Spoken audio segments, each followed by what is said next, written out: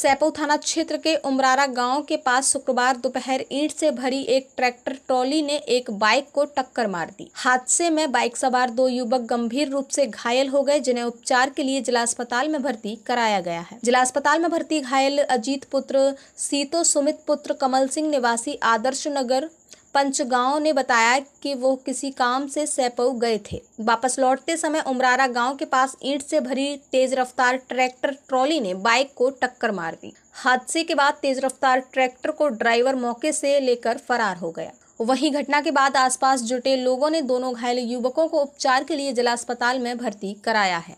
कहाँ के रहने वाले हो? कहाँ से आ रहे थे आप? सामने से ईटा का ट्रैक्टर आ रहा था साथ में टक्कर हमारे सामने। बहुत जगह टक्कर हुई? बिल्कुल मेरे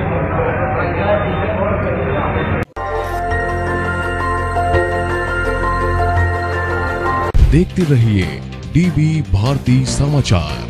नज़र हर खबर